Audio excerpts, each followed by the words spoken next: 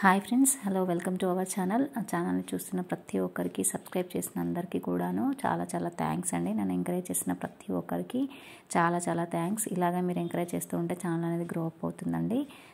Like చేయండి share చేయండి comment చేయండి. ఈరోజు అయితే వీడియోలో ఇంట్లో ఆడవాళ్ళకి అందరికీ యూజ్ అయ్యేలాగా ఒక ఈ వీడియో అయితే చేశానండి. సో ఇక్కడ మనం రైస్ వండుతూ ఉంటాం కదా. సో రైస్ కుక్కర్లో రైస్ వండినప్పుడు ఇలా మనకు పైన ఒక ప్లేట్ అనేది వస్తుంది రైస్ కుక్కర్కి. సో ఇలా మనం దానిపైన ఆవిరి పైన మనం ఉడకబెట్టుకోవచ్చు. వేరే ఏదైనా కర్రీ కోసమైనా లేదంటే స్నాక్స్ లాగా తినడానికి ఏమైనా ఉడకబెట్టుకోవచ్చు ఇలాగా. సో ఎట్ ఏ టైం మనకు రైస్ అయిపోతుంది అలాగే మనకు కర్రీకి సంబంధించినవి కూడా మనకి ఈజీగా సేమ్ ఇలాగా మనం ప్రెషర్ కుక్కర్లో కూడా పెట్టుకోవచ్చు. ఎట్ ఏ టైం రైస్ అవుతుంది ఇంకా మిగతా కావాల్సినవి మనకి ఏమైనా ఉంటే ఎగ్స్ కానీ ఏమైనా కూడా మనం ఇలా పెట్టుకోవచ్చు. సో మీరు కూడా ట్రై చేసి చూడండి. మీకు కనుక రైస్ కుక్కర్కి ఇలాంటి గిన్నె రాకపోయినట్లయితే వేరే సెట్ అయ్యే గిన్నె ఏదైనా కూడా పెట్టుకోవచ్చు. నెక్స్ట్ వచ్చేసి మనం ఫ్రిడ్జ్లో స్టోర్ చేస్తూ ఉంటాం కదా ఆకుకూరలు అలాగే కరివేపాకు అట్లాంటివి స్టోర్ చేసినప్పుడు మనం అలాగే కవర్లో పెట్టేయకుండా ఇలా ఫ్రెష్గా తీసేసుకొని స్టోరేజ్ బాక్స్లు ఉంటాయి కదా ఆ స్టోరేజ్ బాక్స్లలో టిష్యూ పేపర్ పెట్టేసి దాంట్లో కనుక మనం స్టోర్ చేసుకున్నట్లయితే ఎక్కువ రోజులు నిల్వ ఉంటాయండి. ఇలా మనం అలాగే పెట్టేస్తే మటుకు తేమలాగా వచ్చి పాడవుతూ ఉంటాయి కదా. సో కొత్తిమీర అలాగే పాలకూర అట్లాంటివి మనం స్టోర్ చేసుకోవాలంటే ఇలా స్టోర్ చేసుకుంటే మనకు నెల రోజుల వరకు ఈజీగా ఫ్రెష్గా ఉంటాయండి. సో మామూలుగా అలాగే పెట్టేస్తే మనకు తొందరగా పాడయ్యే ఛాన్స్ ఉంటుంది కదా. సో మీరు కూడా ఇలా ట్రై చేసి చూడండి. ఎక్కువ రోజులు నిల్వ ఉండాలంటే మాత్రం ఈ టిప్స్ అనేవి యూస్ చేసుకుంటే మనకు ఫ్రిడ్జ్లో ఎక్కువ స్టోరేజ్ అనేది ఎక్కువ రోజులు ఉంటాయి. సో ఇలా బాక్స్లో పెట్టేసుకొని మూత పెట్టేసుకుంటే మనకు కొంచెం తేమ పడినా కూడా టిష్యూ అనేది పీల్ చేసుకుంటుంది కదా. సో ఇలా మనం ఏదైనా కూడా స్టోర్ చేసుకోవచ్చు ఆకుకూరలు. ఇప్పుడు మనం పచ్చిమిర్చి కూడా మనం ఫ్రిడ్జ్లో పడేస్తూ ఉంటాం కదా అలాగా. అలా అలా పెట్టుకోకుండా ఇలా తొడిమెలు మొత్తం తీసేయాలండి. పచ్చిమిర్చికి ఉన్న తొడిమ మొత్తం తీసేసి ఇలా మనకి డిమార్ట్ కవర్స్ కానీ ఇంకా మందపాటి కవర్స్ ఉంటాయి కదా వాటిల్లో స్టోర్ చేసుకుంటే కనుక నెల పాటు మనకు ఫ్రెష్గా ఉంటాయి. ఇప్పుడు ఫ్రిడ్జ్లో మనం ఏమేమి స్టోర్ చేసుకోవచ్చు?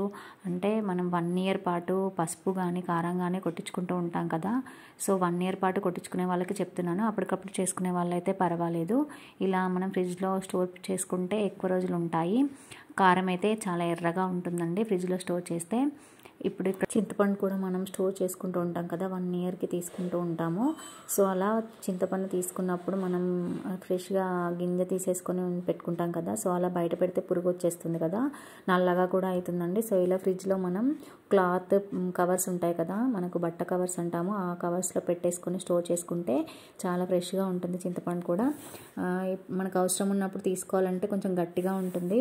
సో వెంటనే అవసరం ఉన్నప్పుడు కాకుండా ముందుగా మనం తీసి కనుక కొంచెం సేపు బయట ఉంచేసి తీసుకుంటే కొంచెం లూజ్ అవుతుంది సో అప్పుడు మనం డబ్బా నిండా తీసేసుకొని ఈ విధంగా పెట్టేసుకుంటే చాలా ఫ్రెష్గా ఉంటుంది. అలాగే బ్లాక్ అవ్వదండి. సో ట్రై చేసి చూడండి. కిచెన్లో గిన్నెలు సర్దుతూ ఉంటాం కదా సెల్ఫ్లో. అప్పుడు మనం గిన్నెలు మొత్తం తడారిన తర్వాతనే ఆల్మోస్ట్ సర్దుతూ ఉంటాం కదా. సో అలాంటప్పుడు ఇలా విడివిడిగా కాకుండా ఇలా మూతలన్నీ మూత కామూత మనం బాక్స్లకి పెట్టేసి కనుక మనం స్టోర్ చేసుకుంటే ప్లేస్ సేవ్ అవుతుంది. అలాగే మనకు ఎప్పుడైనా బాక్స్ తీసుకున్నప్పుడు ఏ సెట్ కాసెట్ ఈజీగా మనం తీసేసుకోవచ్చు. తీసుకునేటప్పుడు వాడుకునేటప్పుడు ఇలా మనం పెట్టుకుంటే కనుక నీట్గా ఉంటుంది. ప్లేస్ కూడా చూసారు కదా ఇలా నీట్గా సర్దేసుకుంటే మనకు ప్లేస్ కూడా ఎక్స్ట్రా ఉంటుంది. సో ఎక్కువ గిన్నెలు ఉంటే ఇలా ట్రై చేయండి. తర్వాత వచ్చేసి మనం ఎగ్ ఆమ్లెట్ కానీ ఎగ్ కర్రీ చేసినప్పుడు ఇలా మనం పడేస్తూ ఉంటాం కదా దానిపైన పెంకుని ఇది పడేయకుండా మనం చెట్లలో డైరెక్ట్గా అలానే వేస్తూ ఉంటారు. అలా కాకుండా దాంట్లో కొంచెం వాటర్లో పెట్టేసి ఇలా దాంట్లో లోపలంతా వచ్చేసేలా కొంచెంసేపు నాడిన తర్వాత దీన్ని మనం ఈ వాటర్ని చెట్లలో వేస్తే సరిపోతుంది. అలాగే పె పెచ్చు పెచ్చు వేయకుండా ఇలా వాటర్ చేసేసి వేస్తే కనుక చెట్లకి మంచిగా బలం వస్తుందండి. సో ఇలా ట్రై చేయండి. ఇప్పుడైతే మనం బిస్కెట్స్ కానీ మనం షాప్స్లో తెచ్చుకుంటూ ఉంటాం కదా. ఏ బిస్కెట్స్ కానీ ఏవైనా మనం ఖాళీ అయిన తర్వాత కొంచెం ఓపెన్ చేసి ఉంటే మెత్తగా అయిపోతూ ఉంటాయి. అలాగే జీలకర్ర ఆవాలు ప్యాకెట్స్ కానీ ఇలా మనం కొన్ని డబ్బాలో పోసుకున్న తర్వాత మిగిలి ఉంటాయి కదా. సో అలాంటివి అలానే పడేయకుండా అలా ఓపెన్ చేసి పెట్టకుండా ఇలా రబ్బర్తో కానీ లేకపోతే క్లోజింగ్ క్లిప్స్ ఉంటాయండి. ఆ క్లోజింగ్ క్లిప్స్తో కానీ మీరు క్లోజ్ చేసి పెట్టుకుంటే కనుక మనకు పురుగులు వెళ్ళకుండా ఉంటాయి. అలాగే మెత్తబడకుండా ఉంటాయి బిస్కెట్స్ అయితే మెయిన్గా. సో మీరు కూడా ఇలా క్లిప్స్ అవైలబుల్గా లేకపోతే ఇలా రబ్బర్తో అయినా క్లోజ్ చేసి పెట్టేసుకోండి.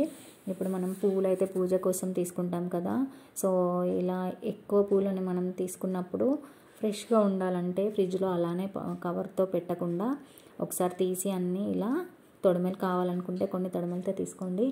లేదు అనుకుంటే ఇలా కొన్ని తొడమలు ఎక్కువగా ఉంటే పాడవుతాయండి సో కావాల్సినవి కొన్నిటికి తొడమలు ఉంచేసుకొని మిగతావన్నీ కూడా ఇలా నీట్గా తొడమలంతా కూడా తీసుకొని ఫ్రెష్గా ఉన్న పూలని తీసుకోండి. కొంచెం నలిగిన ఉన్న పూలను పక్కకు పడేసి ఫ్రెష్గా ఉన్న పూలను అన్నిటిని ఇలా చేసేసుకొని మందపాటి కవర్లు ఉంటాయి కదా లేకుంటే జిప్ లాక్ కవర్స్ కూడా అవైలబుల్గా ఉంటాయి కదా.